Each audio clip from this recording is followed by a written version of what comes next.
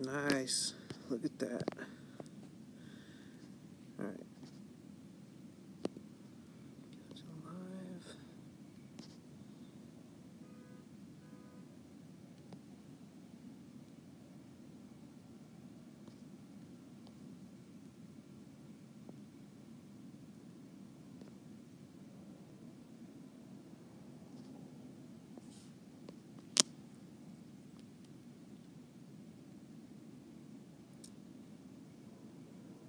Take a 25 second exposure, watch it count down, and we should get a decent image here. While we're waiting, we can go look at where we're where we're at in the sky. So that is straight up.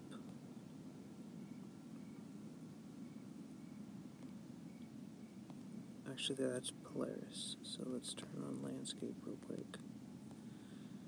So this is north, looking straight out the back patio. Up a little bit is Polaris, and straight. Oh, that's straight up. Zenith is straight up. Sorry, this grid is confusing me. I'm going to turn it off. Yeah, because the telescope was pointed there. The moon, that's straight up, and then the moon is behind us, the south. So, it's really cool that you can see this. The Milky Way is right in line with the horizon. You can see the band going all the way around, basically. Anyways, all the planets are on the other side of the Earth. That's my horizon. Straight up, and this is our target. This is the Big Dipper. It's a part of the Great Bear. Um, the Big Dipper is not a constellation, it's just an asterism, which is a well known name for a well known object in the sky, but it's not an actual constellation itself. So the red is where I could go. Wherever I put the red, I can move to that spot. Um, but the blue is where the camera. So if we zoom in, that's our target, the Whirlpool Galaxy. But there's also, this is the end of the Big Dipper. There's also a target right about here, triangle with these three stars. Um, there it is, M101. That's another big one that's really good. So let's get out of here and see where we're at. There we are. So it is taking the bottom, very bottom text. It says in the middle, this is stacked five images. It's ignored zero of them, so the telescope is guiding well. I'm sorry, not guiding, um, but tracking well. Um, and there's still an hour left of images to take. We don't really need to do that. I'm just having fun tonight. Going on the histogram and see, move these sliders around, see if we could pull out a little bit more stretch. And right that one. There we go. We go a little bit more, yep. And a little bit more. Maybe we can pull up some of the red one a little bit. So, we crop this this vignetting out, we can do that and get a good image like that. So the, all that grain structure and fuzz and looks like a bunch of different colored pixels. Um, that's called noise, and with this live stacking, it's basically taking single exposures and stacking them on top of each other uh, with a little transparency. And every time there's an image, this these dots of noise will be in different locations. After you stack a bunch of images and and with a tiny bit of transparency, um, the fuzz fills in all the gaps of the dark spots and the light spots and kind of equals out to a flat, nice, smooth color and gets rid of that all that noise color. Um, and that's what we want in this live stacking feature. Every single frame it takes, we've stacked 10 so far. Every single frame, the detail in this is going to get better. Uh, and that's what we want. So, 11 frames now. It's stacking the 12th. Uh, loading the 12th. I'm looking at the very bottom right corner for that green status bar. It's downloading at 1.8 megabytes per second. That is because we are on Wi Fi. Uh, the telescope is wirelessly sending the data to my iPad, and we get to watch everything as the images come in. We get to control everything from Wi Fi to the temperature of the camera to the CPU's temperature. Go down to the camera settings. We can uh, change the gain we have a target cooling temperature of negative 18 degrees Fahrenheit right now. Um, we can go, we're not guiding right now because I don't have a guide camera on, but the mount is hooked up to the uh, ASI Air Plus and it is tracking for us nicely. And I don't have an electronic filter wheel, but that can switch different filters in there uh, automatically with a computerized uh, motor. I do have an electronic autofocuser right now, and um, we did do an autofocus, but it has gotten cooler, and with cooler, it with a colder temperature, um, you actually get uh, loss in focus. And I haven't done a new autofocus. I'm just having fun tonight. Tomorrow is the blood moon, and I'm really excited for that because it's my birthday. Um, so we've done 15 images so far. Ignore none. Gain of 140. We're at negative 0.8 degrees Fahrenheit. It's warm outside right now. Uh, so the cooler's having a hard time cooling down the camera to negative 18 degrees Fahrenheit, but that's fine.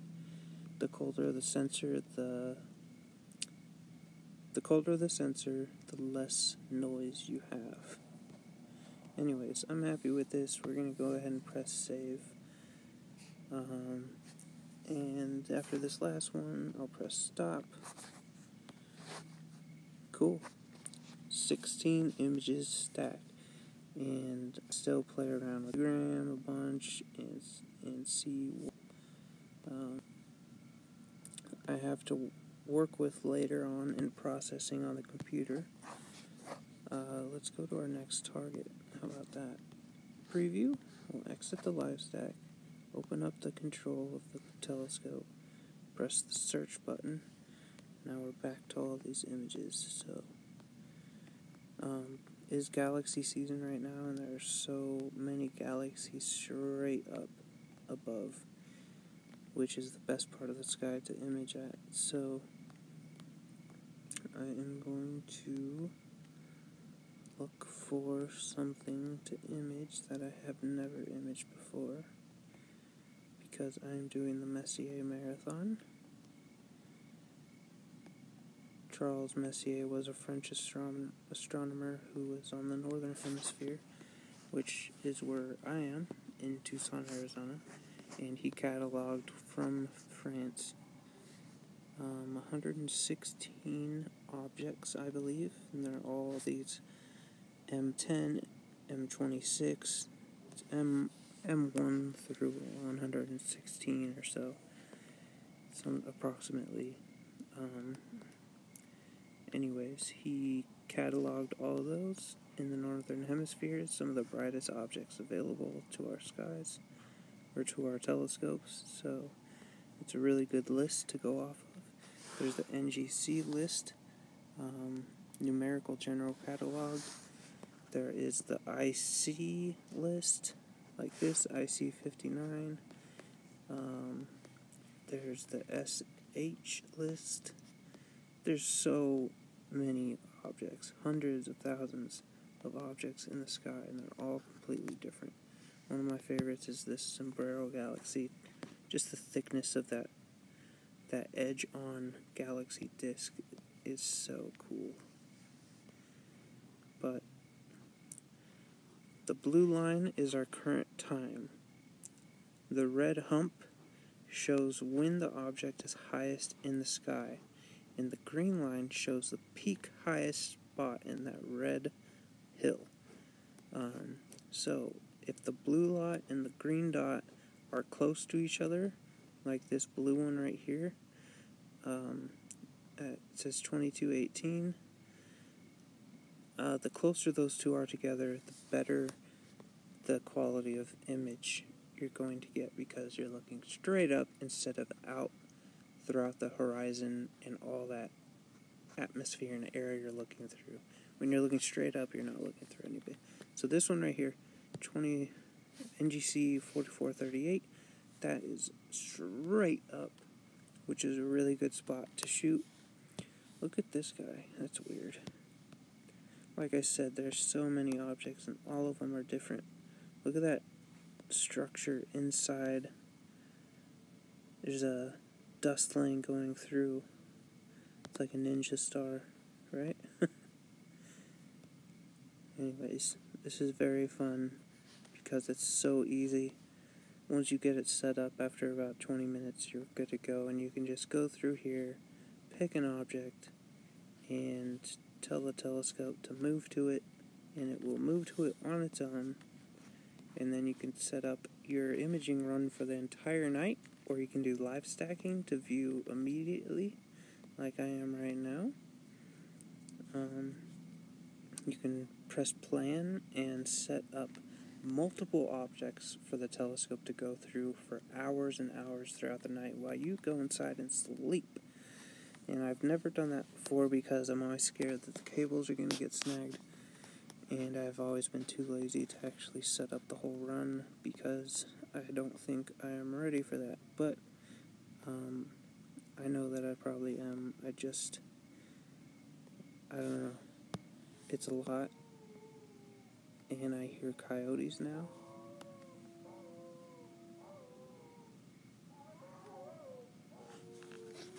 They do not like the green laser pointer, so if I do point the laser out into the desert right behind our house, um, they'll shut up, but then I don't know where they are, so I'll let them do their thing. Um, anyways, it's a, it's like a 95% moon right now, or 89% moon, moon or something. It's very bright and it's lighting up the entire valley desert behind the house. So I can see if there's any tarantulas or rattlesnakes or bugs or scorpions or anything like that around my feet and the telescope, which is nice because I do not like that stuff.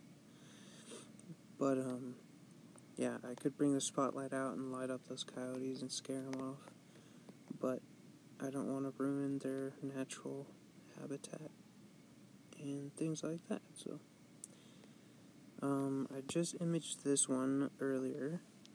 I love, obviously, the perfect circle disc, but I really love the the the bright orange center, not the center star, but the lines coming off of it on either direction, there's perfectly symmetrical Superman symbol. I just love that.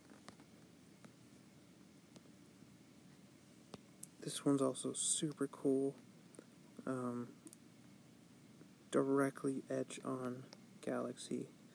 So all galaxies usually are flat, thin discs. So this one is face on. So it's it's like frisbee uh, tilted directly towards us, and this one is tilted directly horizontally so we can only see the edge.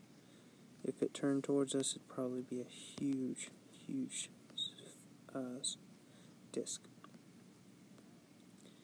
So, this one looks really cool too. it's so hard to pick because there's so many and I, I'm acting like it takes a lot of time to get to get an image, but it doesn't.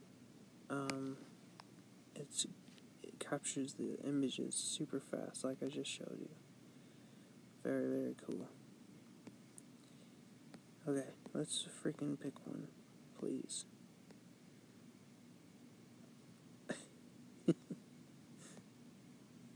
Someday.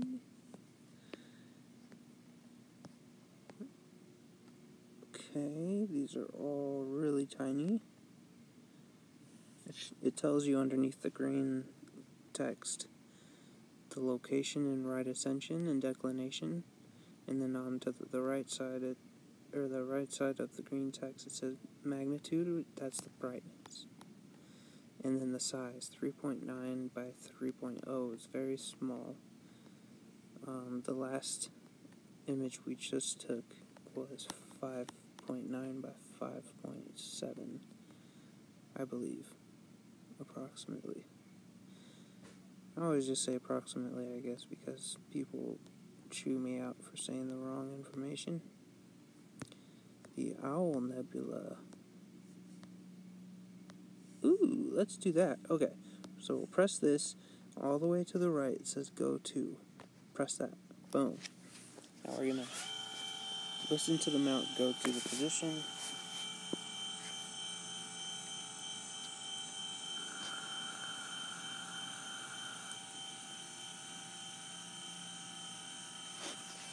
And I believe this is looking directly over Tucson, which is not good because uh, there's a huge amount of sky glow Nope, still moving, going above it, which is great. Okay, that might work. Let's see what we get. Mount slews to target position. Validating centered or not by shooting an image and using the internal map of the of the sky and objects to to uh, compare itself to. And if it's not, object's not near the map or the stars that's around it, it doesn't match up to the stars on the computer, it will move the mount a little bit and reshoot and keep doing that until it finds a target. And look at that. Boom, target centered. Let's see what we get. Wait for it. Oof. So, you see that? That is complete completely bad focus. Um, so I do see a smudge right in the center though. So let's go ahead and do this. I'm going to move this exposure time down to one second. Um, and start an exposure. And I'm going to change the focus with the electronic motor focuser. And we're going to try these stars, they're donuts right now, and we want them to be tiny tots. We want them to be as small as possible, so watch it take one second image. I'm going the right direction with the focus knob. I'm holding up right now, watching the donuts to see if they start to get bigger or small.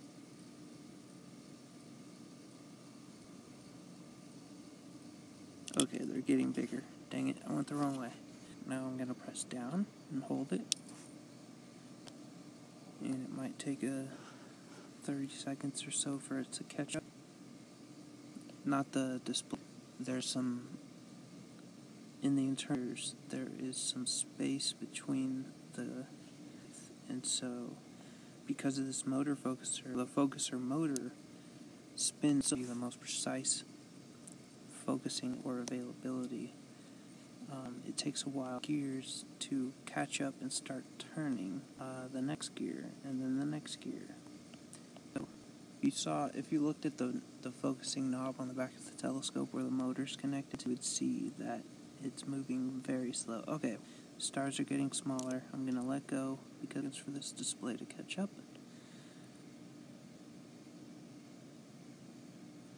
And that should be about it. Ooh. Alright, gonna hold this down for two more seconds.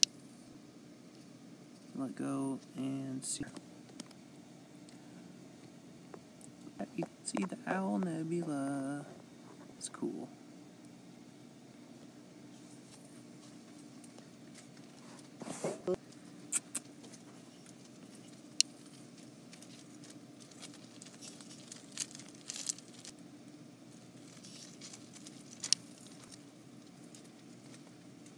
Trying to make this the little donuts into actual tiny circles. So I'm zooming with my fingers and I think that's about it almost. See, when you get when you get into focus, all these tiny little pop out out of the fuzz, and that means you're you got focus. So mm, I think we're there. So let's stop this. We can zoom out go to live. We're still doing 25 seconds and we'll clear this image to give it a clean slate and press start. Now we get to watch as the Owl Nebula pops out. You see how amazing this is? Look how centered the Owl Nebula is in the field of view. This computer system is fantastic at finding objects and centering them all on their own. Did not have any influence on centering, it did it by itself with the camera and the plate solving mapping software that's inside. Alright, the first image is coming through, loading at 6 megabytes per second. 10, 9, 7, 8, 5. I'm really far away from the. Oh, look at that. We have another galaxy in the view. Wow. Wonder what that is. Okay, we can go to Tools on the bottom left here. And then go to Annotate.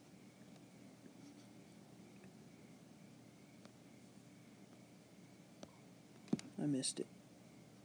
Okay, so we have the Owl Nebula M97 and then we got M108 too. Yes. That means I can mark that one off the list of the Messier Marathon as well. So, you see how. So now that I know that we have two galaxies here, which is really cool. Actually, the Owl Nebula is a planetary nebula, uh, M1 galaxy. So, I'm going to go to the map down here and this is showing me what like I said before this is what the camera can see you can see M1, M108 off to the bottom even though um, the camera is flipping the image so keep that in mind so the Owl Nebula in the center what we want is move the center of field right between the two so we can get both images nice in view so we'll move that the red is where I want to go, the blue is where it is. So I want this cross right between the two. And then I will press go to cross at the very bottom right. It says exposing can't go to, so I'm going to go back, cancel this exposure. Now I'll go back to the map and move to right here. I don't want to do that. I don't want to do that. I don't want to do this. I want to. Let's see where we're at. We are, oh, right near Merak on the Big Dipper. Okay, so let's go put the cross right in the middle. Yeah, does that look good? And then we're going to press the bottom right, go to cross.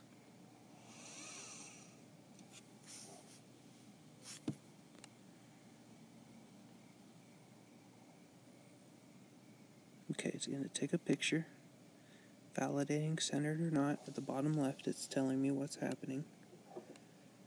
Taking another image. Go to success. Awesome. Alright, we'll go back and then we will start another live stack. Let's, oh, cancel. We have to clear this image first or else the new image will try to be stacking to that and it won't work. So it cleared that image and we're starting fresh. 25 seconds. I'm really excited because I've never imaged these two galaxies before. It's starting to cool down out here, so this might be the last one that I do. But now you guys know what I do at night. Once in a while, Kira is inside on the couch, um, enjoying a TV show all by herself which she doesn't mind at all, trust me. I'm kidding. She loves me and I love her, and we have a great time watching TV shows and laughing and having fun and making fun of of goofy actors and anyways. So, let's take off the annotation because it's distracting. There's our first image. Look at that. Right where we asked it to go. The center is right between, and we can tell that by going to Tools and Crosshair. Look at this. How amazing is technology today? Um, Charles Messier in front have this technology when he was doing this, but he still found these galaxies and cataloged them, and he drew pictures to remember them. And I mean, I just this is so cool. I can't believe I'm capturing the galaxies. The galaxy M108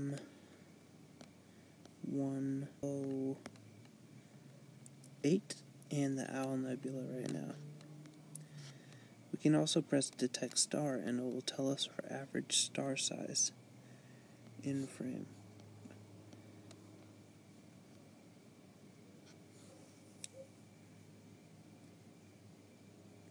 2.63.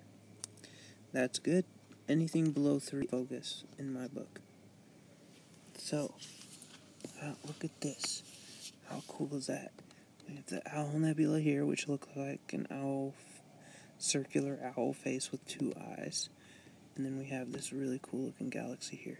So let's switch up the histogram and dial it in and try to get some more detail.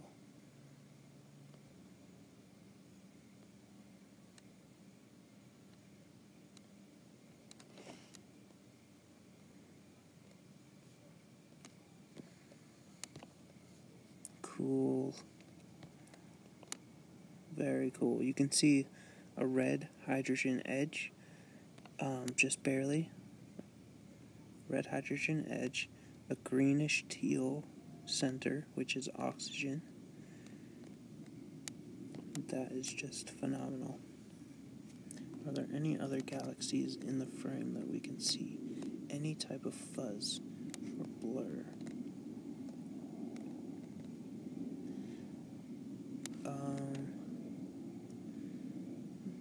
Might be right in the center. Nope, that's probably just a star.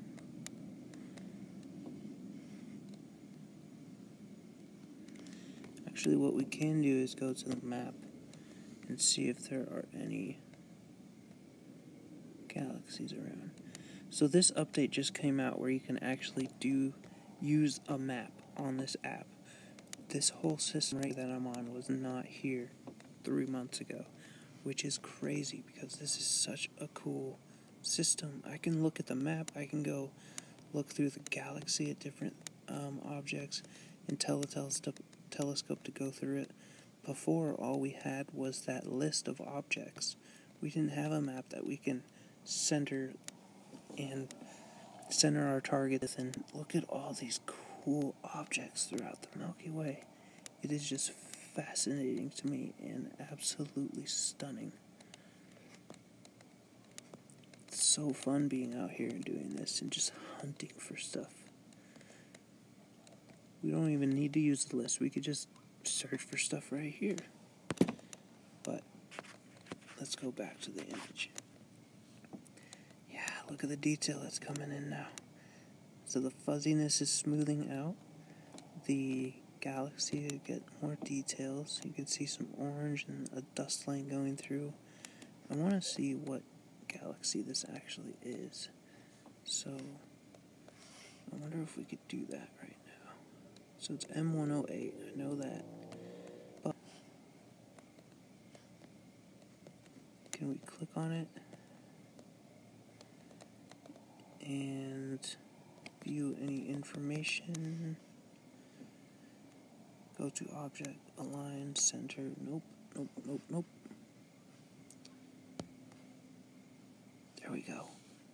Search.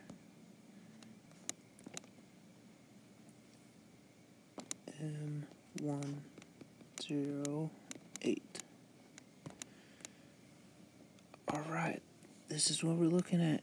And yeah, check it out. That black dust lane, or the black stuff that's in front of the bright stuff. I'm starting to see it. How about you guys? Um, I'm serious. Are, are you guys seeing it too, or is it just. How do I get out of here? Cancel. Oh, that was in the way. Okay, cancel, go back, back. Yeah, check it out. You could see the black stuff in front of the bright white stuff, or the bright orangish yellow. That is so. You guys want to see that? What the Owl Nebula looks like? Let's go back. Search. So check that out. How cool is that? This is just so impressive and fun.